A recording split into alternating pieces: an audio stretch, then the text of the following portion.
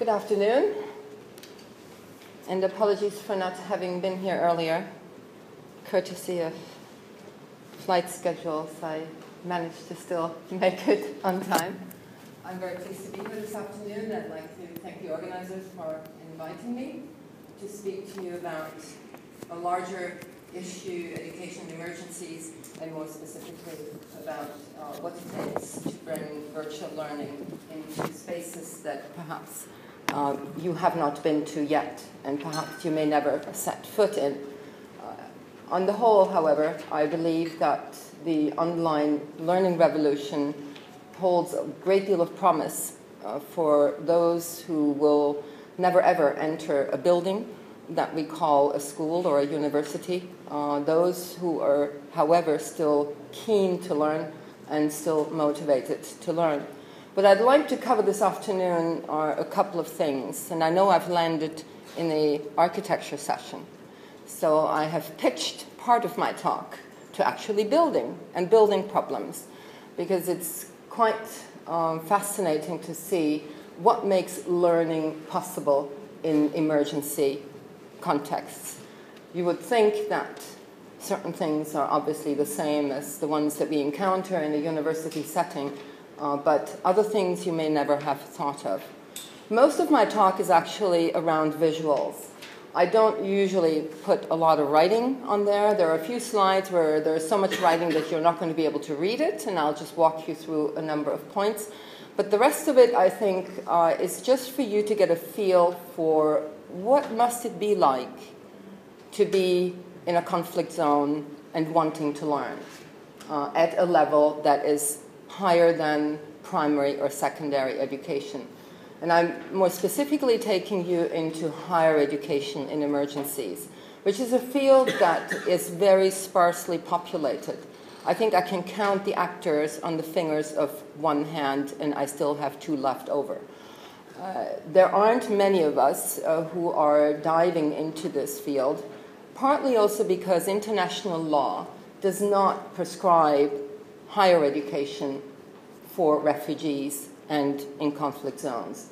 There is, in international law, a requirement to offer primary education it is the host country that needs to offer it. There is a requirement for secondary education. That's where we have a lot of dropouts already, uh, but there is nothing for higher education.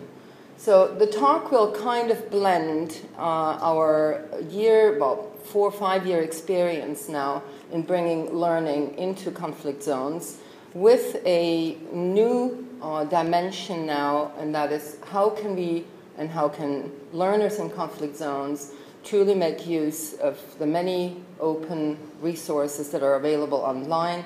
How can they access massive open online learning? What are the barriers? What are the obstacles? Uh, and how can we overcome them? So that's a little bit the framework. And uh, I will make sure that I leave plenty of time for questions in the end.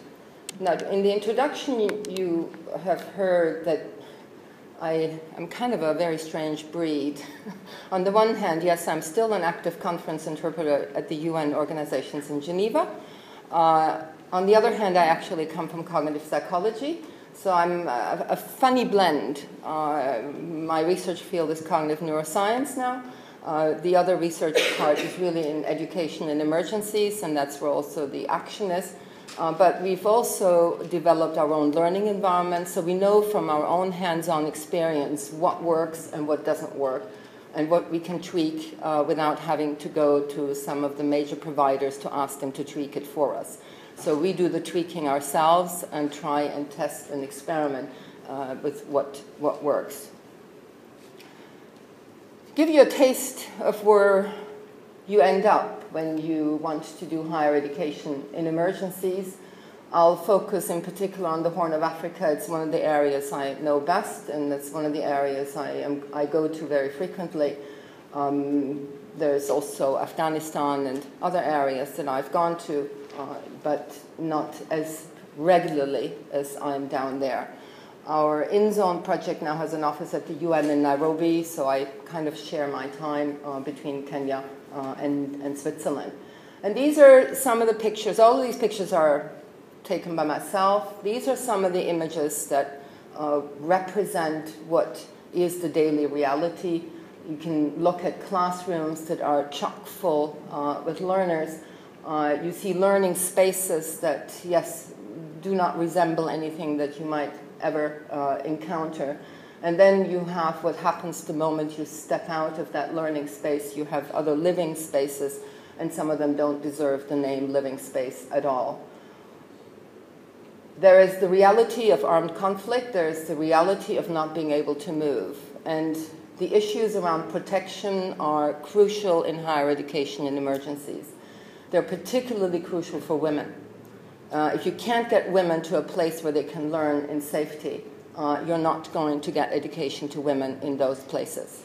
You're going to have to be very creative uh, and very attentive uh, to who your female learners are and how you're going to be able to support them. And I'll share with you some of the ways in which we have gone out uh, to support especially female learners in those contexts. Some more learning spaces uh, for you to get a feel for where we are and what you see when you walk around, you, if you can walk around. In some places, you cannot walk around, especially not in the Dadaab refugee camp. You can no longer walk around. You can't even go in what they call a soft skin vehicle. It has to be armored, and it has to be an armored convoy. And there are very strict schedules. And if you're not out at 7:45 in the morning, you're not going anywhere all day. Uh, and if you're not back by 3 o'clock in the afternoon, you're not coming back. Uh, so it's, it is very tight, it's very structured, it's very, very complex.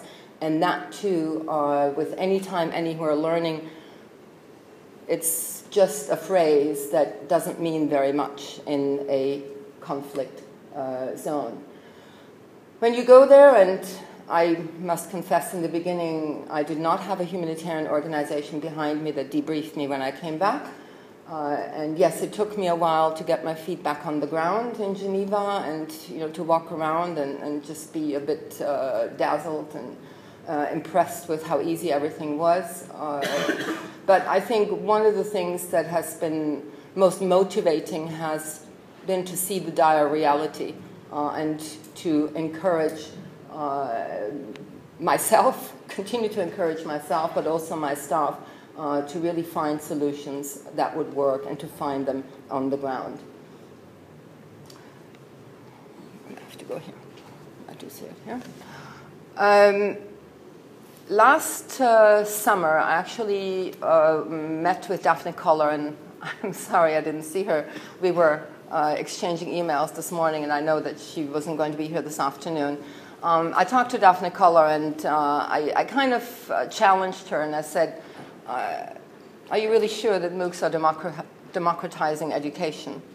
Uh, you know, can we go out and prove this? Or can I, can I take you up on this? Uh, and uh, she said, yes, please do. And so I did. Uh, and uh, all along, I think Coursera has been very, very supportive of the case study that I launched last fall in the Um, there are about, well, in the world at large, there are about altogether 50 million displaced persons, including, well, that includes refugees, internally displaced, uh, and, and those who are seeking asylum uh, in third countries. UNHCR, the organization that uh, by international law is entrusted with uh, taking care of refugees, uh, is the organization also that has now launched an education strategy that includes higher education. And their goal is really to get a 100% increase in the number of refugees that would be able to benefit from higher education. And then you look at the map and you look at where uh, MOOCs are being accessed, and you can clearly see there are big voids. And those big voids obviously coincide with the kinds of conflict zones uh, that we go to. Uh, there is not really a great deal of uh, uh, access in uh, the Horn of Africa, for example, and different African countries as well. So when you go out and you launch a research project in those contexts, uh, you are very definitely not just following the rules of your uh, institutional review board. uh, but you're going to have to place your research into the broader context of the humanitarian principles because you're operating in the humanitarian space. Uh, that has various consequences for the kind of research you do and how you're going to go about it. Uh, one of the principles uh, that you see um, up on the left, the do no or do less harm, uh, is indeed the guiding principle when you engage in research. And for me, that meant if I'm going to launch a research project uh, with MOOCs in these emergency settings, my first and foremost objective has to be to get all the refugees to the finish line. Everything else was secondary. I would not be allowed uh, to do more harm, holding out some sort of award uh, and having them imagine that they might get there and then not making sure that they would ultimately get there.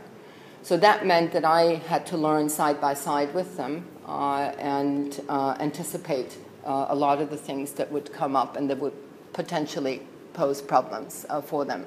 So that was the relocation. There were only it was a case study approach because, again, with the do no harm principle, you don't want to engage a big group only to find out it's not going to work in the end. So I think I thought at least I was going to be able to take care of two if everything were to collapse, uh, but not of a larger group. Um, some of the languages that uh, these two had, the level of education, both of them already had two years of higher education. Uh, and the MOOC, uh, the one that uh, I chose, not the one that was recommended by Coursera, but the one that I chose, ultimately uh, was a uh, course offered by the Commonwealth Education Trust on the foundations of teaching and learning. Something that's very relevant for refugees because primary and secondary education in the camps is obviously a, a major attraction for those who have some level of higher education in, in, in the camps for them to get a job. Uh, just very quickly the course characteristics. It was on the Coursera platform. There were about 16 video lectures in this introductory course. Um, there were four quizzes and two essays to write and six peer assessments uh, to, to do. So, what were the challenges? Obviously, technological, and I think that's the one thing that you would immediately guess. Well, the connectivity, ICT, uh, where do they learn? But uh, it wasn't just technological, uh, cultural, the intellectual culture, the learning cultures, but then also linguistic, uh, the mastery of written English. Most of the MOOCs still, despite the fact that there's a lot of activity now also to bring French and Spanish and Arabic uh, MOOCs online, linguistic challenges are very real the method was the case study, and I was on site for the setup in November because I was launching another course for 50 other learners uh, that is humanitarian interpreters. So I was already there, ended up, and I could get them started uh, in a face to face setting uh, before we went online. So the three broad areas uh, challenges and solutions, the accessibility and protection, uh, the connectivity and the learning and cognition, what I call the geography of thought. And it's an area that I'd already researched before because in our own learning environment, we've run an advanced master's degree uh, in teacher training for interpreter trainers uh, for the last 10 years. So I've been quite familiar with bringing learners from different intellectual cultures together in the virtual space and to see what the friction and what the tensions uh, will be uh, in what we uh, what our learning environment has as its foundation a socio-constructivist uh, base. So in collaborative learning, seeing what happens in those spaces really uh, reminds me always of the geography of thought. This is the one that I don't expect you to be able to read, but um, the various stars uh, indicate the kinds of challenges that I encountered along the way. And the procedure was I would anticipate a challenge, hopefully anticipate the challenge because I was always a step ahead of them. Uh, anticipate it, try and find a solution if it was really something I knew they wouldn't be able to solve themselves. Uh, find a temporary solution, negotiate with Coursera. Uh, and then with one of my uh, one of the education officers of UNHCR quickly transport that solution to Dadaab so that the refugees would not have to stumble uh, over it or find, uh, you know, not find a solution. So these were the ones, and they were fairly equally divided into technical, technological challenges, uh, access challenges, things like signature track uh, for every assignment that gets uploaded. Um, you would think, well, why did they want signature track? Well, a refugee who is going to invest hours in learning wants to have a certificate in the end. I'm sorry. It is the very stark reality of learning in conflict zones. They want to have a piece of paper in hand in the end.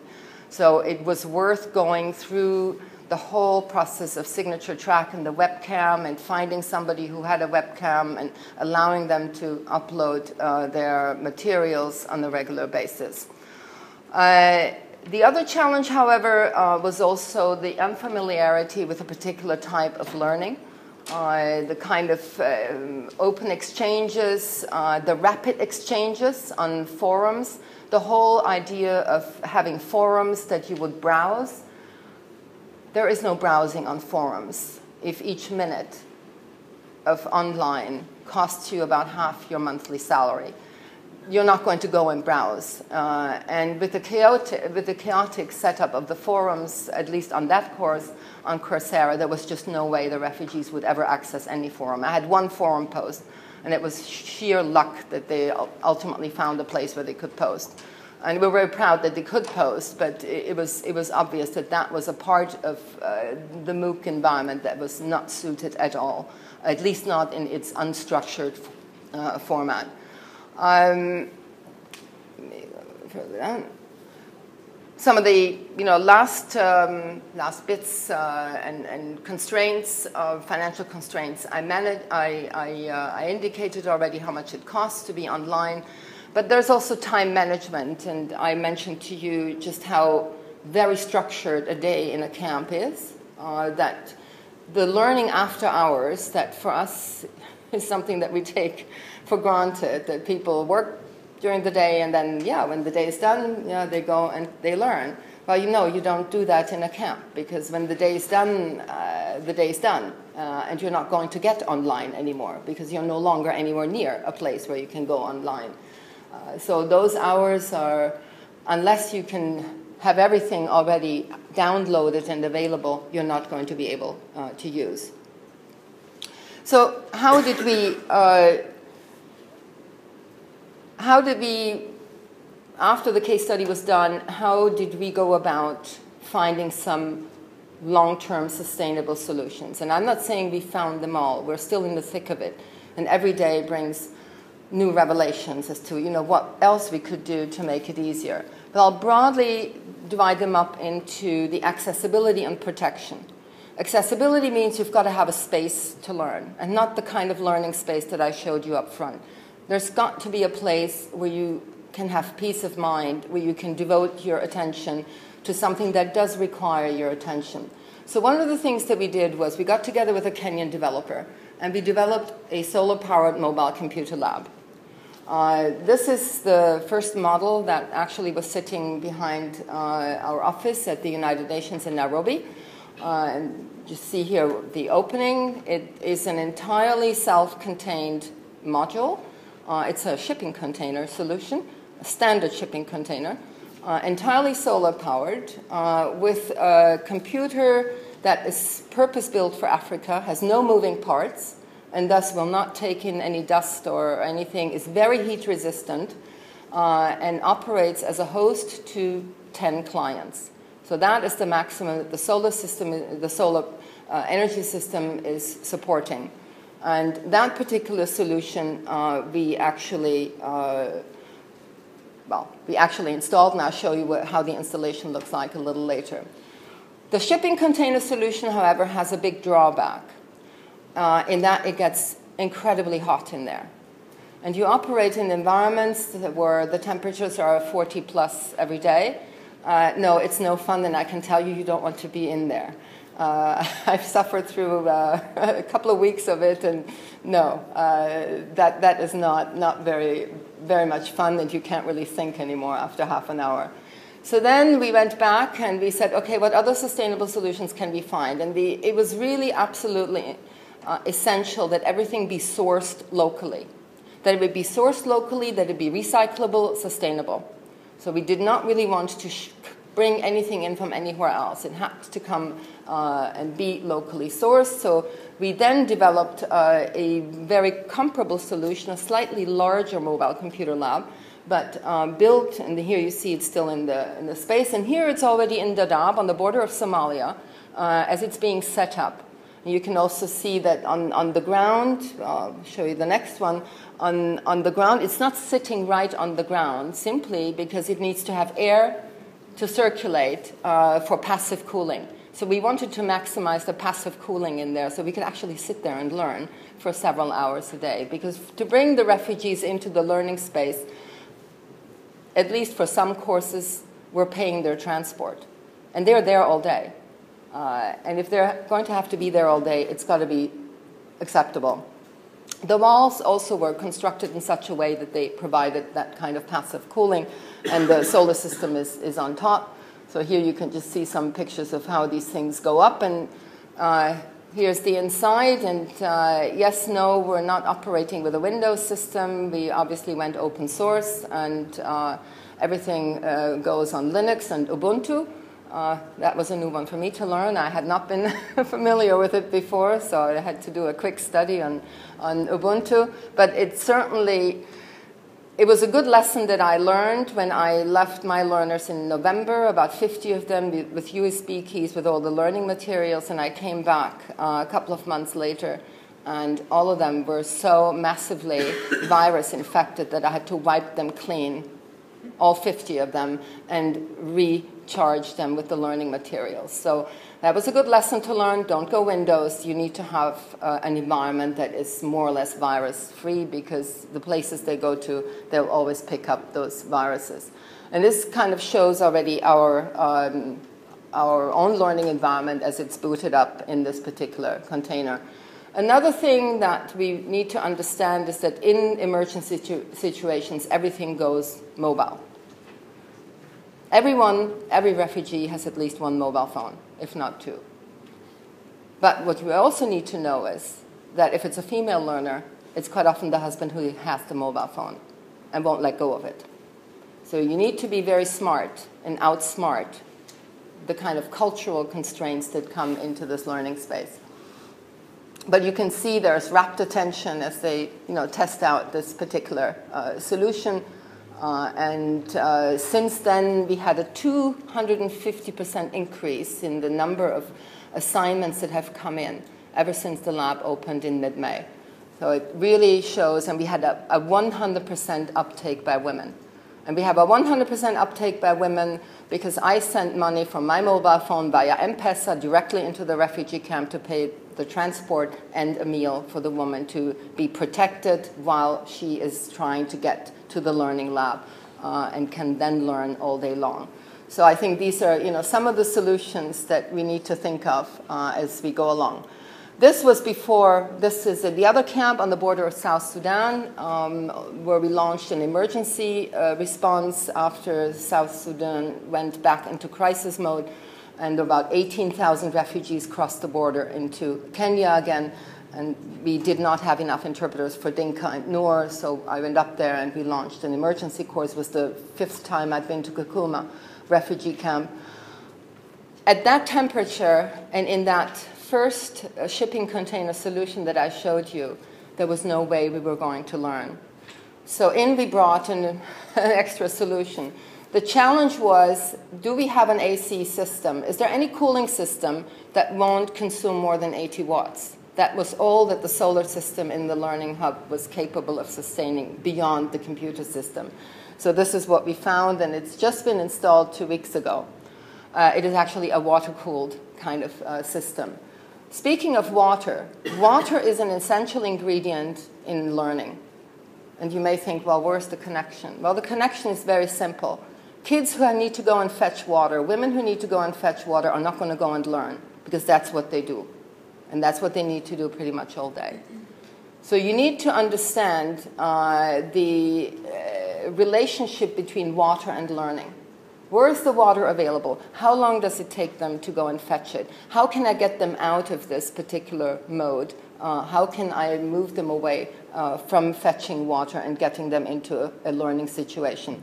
We installed the second uh, lab up in Kakuma right in the middle here, in Kakuma 2.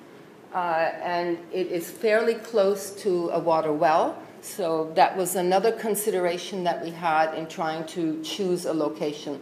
It had to be in the middle of the camp, that was essential, but it also had to be close to water and availability of water so we wouldn't have people moving away. And here it is, the one that you saw up front at the UN is now up on the border of South Sudan.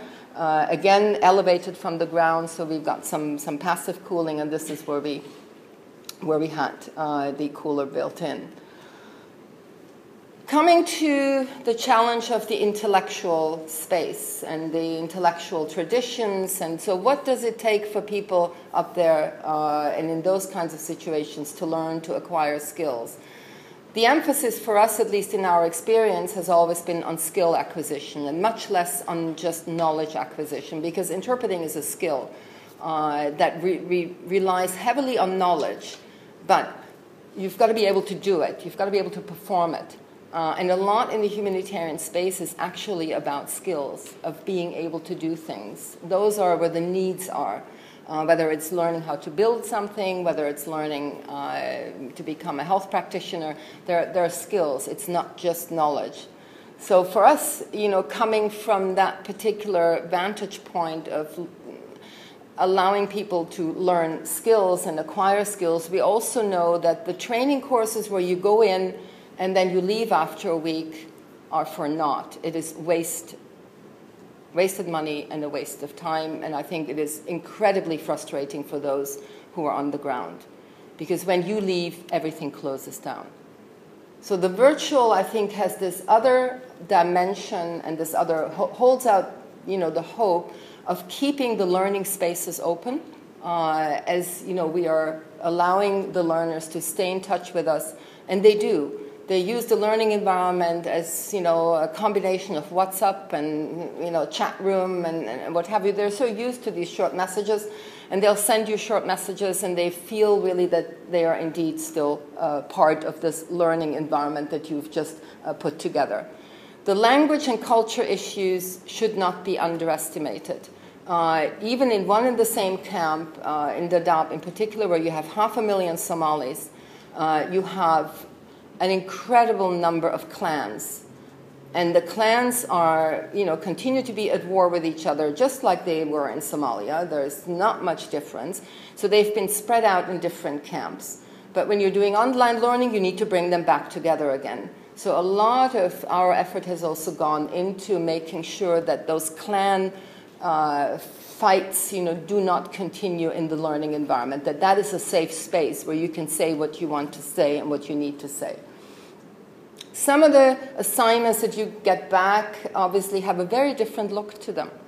Uh, you, I mean, these are you're probably not familiar with because this comes from the field of interpreting. It's taking notes of, uh, of speeches uh, or of dialogues, uh, and it's a particular system that uh, we acquire. And here you have uh, two very different, one from Sudan, actually, when I was in, in Kassala on the border of Eritrea, uh, an, an Arabic interpreter actually, who this was a three minute speech that I gave. And that was all that she needed to bring it back in Arabic afterwards. So it was, it was quite impressive. So, different ways in which assignments are being accomplished. Cultural constraints also have a lot to do with the place of women in these societies. And I've mentioned this a lot of times, but I particularly liked that. Uh, it's not a poster, but uh, you know, not even an advertisement, but a reminder, yes, that to all the refugees in the camp that yes, real men educate their women, uh, and it's I, I, saw it a couple of times. Uh, it was almost like you know, it, it, resembled very much all the health reminders, you know, get vaccinated or you know, do not do this or do that. Uh, but it, it, was a very, very good reminder of the dire situation of women uh, and, and learning.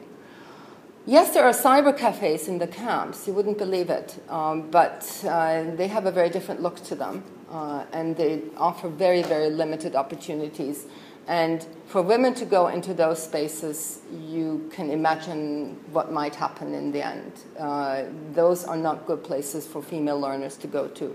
So, building environments uh, for them is essential. The other thing is, and one of the reasons why I didn't choose the course that Coursera was recommending that I choose, uh, but the one that I ended up choosing was learning has to be contextualized. It has to be meaningful for those on the ground. If it's not meaningful, they lose interest. There is, there's a complete disconnect uh, at some point. So what we're doing, because we're just you know, halfway through building a MOOC that is respectful of emergency situations and really will allow uh, learners in those situations to access it, we're actually going into the camps and we're filming the learning materials there, using refugees as videographers uh, and making it as real and as contextualized as we possibly can. So that, that's another way of bringing learning in there. Lastly, you have to respect a number of uh, recommendations uh, that are partly, the humanitarian principles are binding. It's international law. These are recommendations that have been issued uh, there's the International Network for Education in Emergencies with a clear emphasis on primary and secondary education. Very little on higher education just yet, but they're getting into it. Uh, there's also UNESCO. There, there are other recommendations that uh, you need uh, to follow. I think, lastly, one can conclude that uh, yes, conflicts usually arise because communication fails, and I think one of the very interesting research projects in the humanitarian space that I've come across, I came across about a year and a half ago, was called Listening, the Listening Project. And it was an organization uh, that went around the world for five years listening to people at the receiving end of development aid. And it made very instructive reading. Because we always think we know what's good, uh, we always think we have the solutions. And unless you go and you really listen and you find out and you work on solutions from the ground up, I don't think you will ever really know. So I think that is a reminder, and that's just a thank you to those two refugees who participated. And yes, they gave their consent uh, to be photographed and uh, for the picture uh, to, uh, to be shown. And with that, I'd like to thank you for your attention.